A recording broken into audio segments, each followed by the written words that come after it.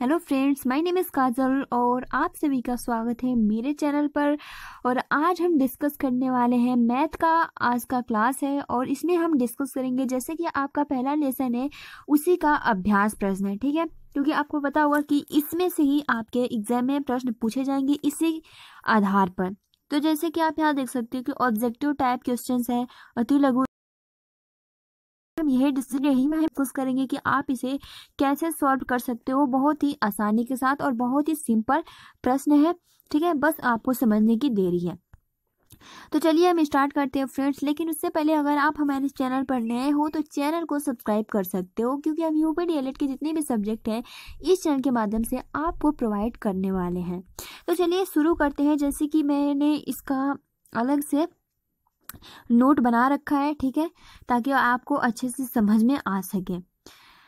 तो चलिए हम शुरू करते हैं गाइज़ लेट्स सी तो जैसे कि आप यहाँ देख सकते हो कि आपका ये पहला लेसन है और पहले लेसन का नाम है संख्या तथा संख्या का बोध, ठीक है? अगर आपने डीएलएड कर रहे हो और आप कॉलेज जाते होगे तो आपका पहला लेसन यही होगा या फिर आपने बुक खरीदा होगा तो आपको पता होगा, ठीक है? तो आपका पहला अध्याय है और अभ्यास प्रश्न है। ठीक है? आपको प्रैक्टिस करते रहना चाहिए, तभी आप मैथ के क्वेश्चन सॉल्व कर पाओगे, वरना फिर नहीं कर पाओगे। तो चलिए शुरू करते हैं। आपका पहला प्रश्न ये है कि संख्या दो, तीन, चार, पाँच, ठीक है? दो हज़ार तीन सौ पैंतालीस में अंक तीन का स्थानीय मान है। तो अगर आपको स्थानीय मान आता होगा तो आप बहुत ही आसानी तरीकों से ये प्रश्न सॉल्व कर दोगे, लेकिन जिस स्टूडेंट को ये प्रश्न नहीं आता है, वो इसमें थोड़ा कंफ्यूज होंगे। तो जैसे कि आपके सामने ऑप्शन दिख रहा है तीन सौ तीस, सौ, तीन हज़ार। तो मैं बता देती हूँ कि इसका करेक्ट आंसर कौन सा रहेगा तो आप यहाँ देख सकते हो, सीधा सा दिख रहा है तीन सौ होगा तीन का स्थानीय मान। स्थानीय मान निकालना बहुत ही सिंपल है, जैसे कि आप यहाँ देख सकते हो, दो, तीन, चार, पाँच है। ठीक है तो चलिए मैं समझा देती हूँ आप सभी को। दो है, तीन है, चार और पाँच। तो आपको पता होगा कि स्थानीय मान निकालने के लिए हम इकाई, दहाई सैकड़ा, हज़ार इससे गुणा करते हैं। तो जब हम पाँच का इकाई से गुणा करेंगे, ठीक है तो पाँच आएगा, ठीक है। अगर चार से करेंगे तो चार में अगर दहाई का गुणा करेंगे तो चालीस आएगा। और तीन में अगर सौ का गुणा करेंगे तो कितना आएगा? तीन सौ आएगा। तो इसीलिए आपका करेक्ट आंसर तीन सौ हो जाएगा। आपको समझ में आ गया होगा क्योंकि आपने बचपन में पढ़ा होगा। स्थानीय मान बहुत ही सिंपल है। ठीक है, अगला हम क्वेश्चन देखते हैं कि तो इसका और सही होगा और आप जितने भी है नोट्स बना लो। अगला आपका प्रश्न है कि संख्या पंद्रह, पैंतालीस, पच्चीस में पाँच के स्थानीय मानों का योग क्या है? उसमें पाँच का स्थानीय मान पूछा था, लेकिन यहाँ पूछा है कि पाँच का स्थानीय मानों का योग क्या है? तो आप यहाँ जैसे कि देख सकते हो कि तीन पाँच आपके सामने दिख रहा है तो आप कंफ्यूज मत हो। बहुत ही आसान प्रश्न है। जैसे कि आपके सामने ऑप्शन है पाँच पाँच हज़ार पाँच देखिए पचपन और डबल ज़ीरो फाइव है, ठीक है? फिर आप यहाँ देख सकते हो पचास पचास फाइव उसके बाद फाइव हंड्रेड और डबल फाइव है और इनमें से कोई नहीं। तो इसका करेक्ट आंसर हो जाएगा पचास पचास फाइव तो चलिए मैं बताती हूँ कि इसका आंसर कैसे आया है। तो सबसे पहले आपको अपने कॉपी में, जैसे कि आप यहाँ देख सकते हो कि मैंने सॉल्व किया है। तो जितना अंक है, आप सिंपली यहाँ लिख लो। ठीक है? आप देख सकते हो कि मैंने लिखा है पंद्रह, पैंतालीस, पच्चीस। अब सबका आप इकाई, दहाई, सैकड़ा, हज़ार, सबका में गुड़ा कर लो। तो जैसे कि आप यहाँ देख सकते हो कि पाँच इकाई स्थान पर है तो हम एक से गुड़ा करेंगे। दो दहाई स्थान पर है तो हम दस के गुड़ा करेंगे। पाँच सैकड़े के स्थान पर है तो हम सौ से गुड़ा करेंगे। और जो चार है वो हज़ार के स्थान पर है तो हम हज़ार से गुड़ा करेंगे चार के साथ। और पाँच जो है वो दस हज़ार के स्थान पर है तो हम आ, मतलब दस हज़ार के साथ गुणा करेंगे। तो आप जैसे कि देख सकते हो गुणा करने के बाद यहाँ पाँच ये हो गया तीसरा पाँच ये हो गया। अब कुछ नहीं ठीक है? तो आप यहाँ देख सकते हो कि तीनों पाँच है तो तीनों पाँच है तो हम इनका सबसे पहले जो हमारा स्थानीय मान निकल कर आया है तो सबसे आ, सबसे जो ज़्यादा है वो लिखेंगे क्योंकि हमें ऐड करना है। तो सबसे ज़्यादा जो है वो है पचास हज़ार ठीक है? पाँच सौ है और पाँच है। तो अब हम सिंपल आपको ऐड करना आता होगा तो हम ऐड कर देंगे पाँच होगा पाँच फिर यहाँ भी पाँच ज़ीरो फाइव।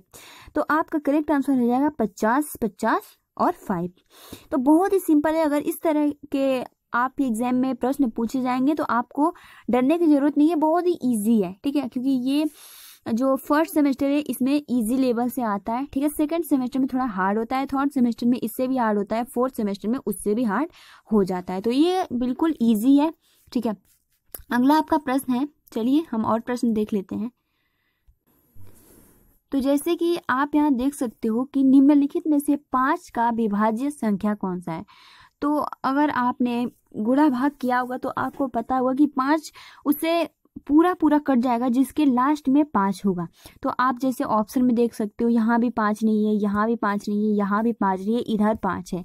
तो आपको कंफर्म हो जाना है कि जो ये अंक, जो ये अंक है, सैंतीस पचहत्तर, ये पाँच से पूरा पूरा विभाज्य हो जाएगा। तो चलिए हम देख लेते हैं, आपके लिए मैंने यहाँ भाग लगाकर आप सभी को दिखाया कि पाँच से विभाज्य संख्या है तो जैसे कि आप यहाँ देख सकते हो कि पूरा पूरा कट गया है।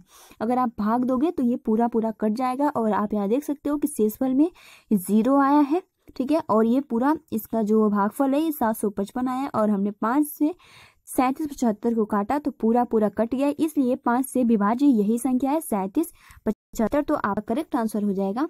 दो सैंतीस पचहत्तर, ठीक है? अगला हम प्रश्न आप सभी का देख लेते हैं। अति लघु उत्तरीय प्रश्न है, ठीक है? तो इसमें भी आपको ये भी एक नंबर का होता है और जो विकल्प था, वो भी एक नंबर का ही होता है।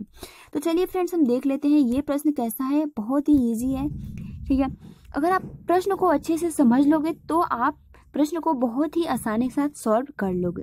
तो आप यहाँ देख सकते हो कि इक्यावन सॉरी बावन इकतीस, ठीक है, यहाँ दो है। बावन एक बावन इकतीस में प्रत्येक दो का स्थानीय मानों का योगफल ज्ञात करें। तो देखिए, जैसे कि मैंने पहले प्रश्न में बताया था सेम वैसे ही इसमें भी पैटर्न है, ठीक है।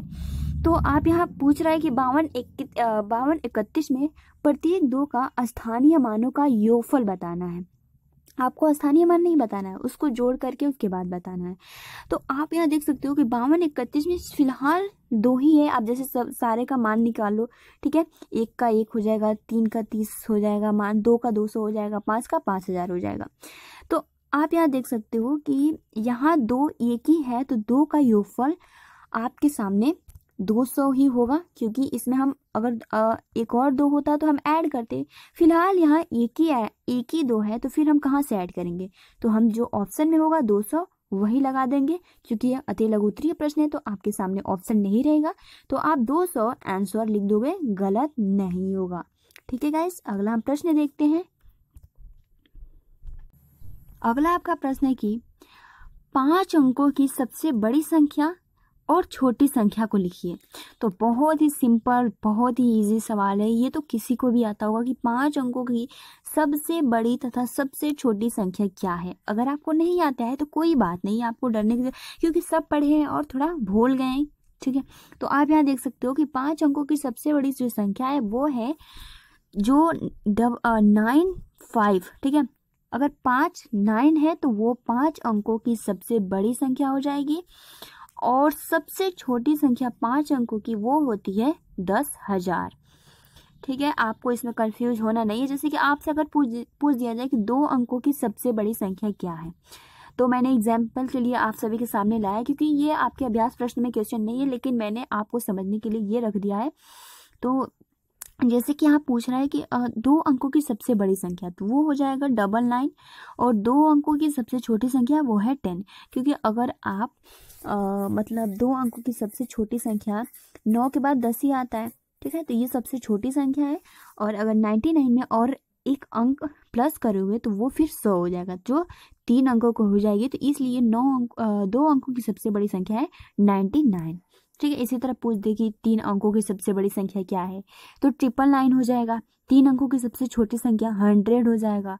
चार अंकों की सबसे बड़ी संख्या तो चार नौ हो जाएँगे और चार अंकों की सबसे छोटी संख्या क्या है? तो वो एक हज़ार हो जाएगा। और जैसे कि आप यहाँ देख सकते हो, अगला आपका प्रश्न है कि देखिए, बहुत ही अच्छा प्रश्न है ये कि देखिए, आपके सामने पाँच दो हैं, ठीक है? जैसे कि आप यहाँ देख सकते हो कि बाईस हज़ार दो सौ दो दो सौ सॉरी बाईस हज़ार दो सौ बाईस है। तो इसमें पूछ रहा है कि बाईस हज़ार दो सौ बाईस में प्रत्येक दो का स्थानीय मानों का योगफल ज्ञात कीजिए। तो आपको इसमें योगफल इन सभी दो का मान ज्ञात करके और उनका मतलब ऐड करके और आपको योगफल बताना है। तो जैसे कि आप यहाँ देख सकते हो कि मैंने स्थानीय मान निकाल लिया है, ठीक है? अब आप सबको जोड़ेगे ना ऐड करोगे। जैसे कि आप यहाँ देख सकते हो कि मैंने सबको ऐड किया है तो कितना है? वही बाईस हज़ार दो सौ बाईस ही आएगा। तो इसलिए आपको यही आंसर होगा, ठीक है? अगर ये आंसर आ रहा है तो बिल्कुल सही है। अगला हम प्रश्न देख लेते हैं।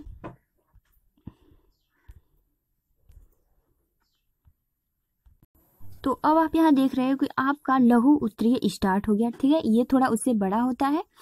तो आप यहाँ देख सकते हो कि आपसे परिभाषा भी पूछ सकता है तो आपको परिभाषा भी याद करना होगा। तो जैसे कि आप यहाँ देख सकते हो कि आपसे पूछा गया है कि स्थानीय मान क्या होता है? उदाहरण देकर समझाइए। तो जो स्थानीय मान होता है, अगर आपने इसका परिभाषा पढ़ा है तो आपको याद होगा, लेकिन जिस स्टूडेंट ने नहीं पढ़ा है, उनको भी पता होना चाहिए। तो चलिए फ्रेंड्स, हम जान लेते हैं कि स्थानीय मान की परिभाषा क्या होती है। तो जैसे कि आप आप यहाँ देख सकते हो, किसी संख्या में प्रत्येक स्थान के संगत अंक का मान अलग अलग होता है। इसे अंक का स्थानीय मान कहते हैं। तो आपको बिल्कुल ये याद कर लेना, क्योंकि आपके एग्ज़ाम में पूछा जाएगा, हंड्रेड परसेंट पूछा जाएगा कि स्थानीय मान की परिभाषा क्या है। तो किसी संख्या में प्रत्येक स्थान के संगत अंक का मान अलग अलग होता है और इसे अंक का स्थानीय मान कहते हैं। जैसे कि उदाहरण भी पूछा है कि उदाहरण देकर समझाइए। तो जैसे कि आप यहाँ देख सकते हो कि अंठावन और छत्तीस में तीन का मान पूछा है। ठीक है? तो जो अंठावन और छत्तीस में तीन का मान पूछा है तो सिंपली दिख रहा है जो तीस यहाँ है, हम दहाई से गुड़ा करेंगे तो तीस ही होगा। जैसे कि आप यहाँ देख सकते हो, मैंने बताया कि तीस में दस का गुड़ा करेंगे तो तीस होगा। पैंतीस और छियासी में तीन का होगा तो यहाँ तीन हज़ार हो जाएगा देखने से, क्योंकि हम तीन में हज़ार का गुड़ा करेंगे तो हमें तीन हज़ार प्राप्त हो जाएगा। ठीक है गाइज़ अगला आपका प्रश्न ये है कि संख्या से आप क्या समझते हैं इसके प्रकार को बताइए। तो जैसे कि मैंने पहले वीडियो में आप सभी को संख्या से रिलेटेड संख्या के कितने प्रकार है? बहुत ही अच्छे से विस्तार रूप से आप सभी से डिस्कस किया था। तो अगर आपने मैथ वाली पहली वीडियो नहीं देखा है तो आप प्ले लिस्ट में जाकर देख सकते हो। मैंने प्ले लिस्ट का अगल, अलग वीडियो बनाया है। ठीक है? UPDL first semester math classes मैंने लिखा है। आप मेरे प्ले में जाकर चेक कर सकते हो। सभी सब्जेक्ट के अलग अलग प्ले लिस्ट है। तो जैसे कि आप यहाँ देख सकते हो कि संख्या से आप क्या समझते हैं, इसके प्रकार बताइए। तो जो संख्या होता है इसकी परिभाषा ये होती है कि जिन शब्दों से वस्तुओं की गिनती का बोध होता है, उसे संख्या कहते हैं। तो जिन शब्दों से वस्तुओं की गिनती का बोध होता है, उसे हम संख्या कहते हैं। संख्या के कितने प्रकार है? तो संख्या के कुल नौ प्रकार है, ठीक है? आपने पढ़ा होगा। प्राकृतिक संख्या, ठीक है? नेचुरल नंबर जिसे हम इंग्लिश में करते हैं, जिसमें एक दो तीन आता है, हम प्राकृतिक संख्या कहते हैं। पूर्ण संख्या जिसमें ज़ीरो भी ऐड हो जाता है, उसे होल नंबर भी पूर्ण संख्या कहते हैं। सम संख्या जो दो, चार छः दो से कट जाए, उसे सम संख्या कहते हैं, जिसे इवन नंबर भी बोलते हैं। विषम संख्या और नंबर बोलते हैं, जिसे एक या अपने आप से ही कटे, ठीक है? यह एक, तीन, पाँच, सात, ठीक है, सात सात के बाद ग्यारह आ जाएगा, ग्यारह के बाद तेरह आ जाता है, तेरह के बाद सत्रह सत्रह के बाद उन्नीस। ये सब इसमें आ जाता है। उसके बाद भाज्य, ठीक है? जो विषम संख्या है वो दो से विभाजित ना हो सॉरी जो दो से दो, जो दो से विभाजित ना हो उसमें विषम संख्या कहते हैं।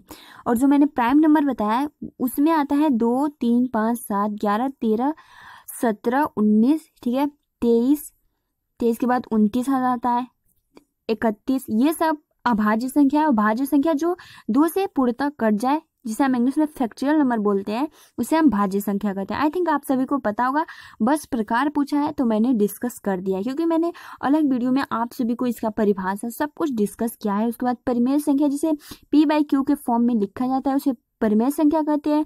अपरिमेय संख्या, जिसे हम पी बाई क्यू के फॉर्म में नहीं लिख सकते हैं उसे अपरिमेय संख्या कहते हैं। पूर्णांक संख्या आपको बताइए।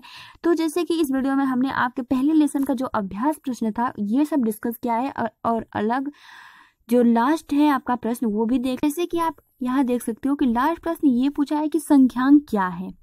तो संख्यांक की परिभाषा जान लेते हैं क्योंकि परिभाषा भी पूछ सकता है तो आपको जानना ज़रूरी है। तो संख्यांक की परिभाषा ये होती है कि संख्याओं को जिन संकेतों द्वारा व्यक्त किया जाता है, उसे संख्यांक कहते हैं। बहुत ही ईजी है कि संख्यांकों की संख्याओं को जिन संकेतों द्वारा व्यक्त किया जाता है, उन्हें हम संख्यांक कहते हैं। तो इस वीडियो में हमने डिस्कस किया है, आपका पहला लेसन था, अभ्यास प्रश्न था, ठीक है ऑब्जेक्टिव अति लघु लघुत्तरीय प्रश्न डिस्कस किए। तो अगर अभी तक आपने मैथ की नोट कॉपी नहीं बनाई है तो बना लीजिए और इसका मैं जो पीडीएफ में है, उसको मैं आपको टेलीग्राम पे प्रोवाइड कर दूँगी। आप मेरे टेलीग्राम से जुड़कर और सिंपली आप इसको लेकर और नोट्स बना सकते हो बहुत ही अच्छी तरीके से। अगले वीडियो में हम कुछ अलग ही टॉपिक मैथ के बारे में डिस्कस करेंगे। तब तक के लिए थैंक्स फॉर वॉचिंग एंड अगर आप हमारे चैनल पर नए हो तो चैनल को सब्सक्राइब कर सकते हो। और मैथ का सिलेबस पूरा समाप्त हो जाएगा। आपका दो से तीन महीने के बाद पेपर है तो आपको चिंता करने की ज़रूरत नहीं है। हम सब टॉपिक वाइज आप सभी से डिस्कस करेंगे। ठीक है? तब तक के लिए अपना ख्याल रखिए और अपने दोस्तों के साथ शेयर कीजिए। तब तक के लिए thanks for watching take care and see you again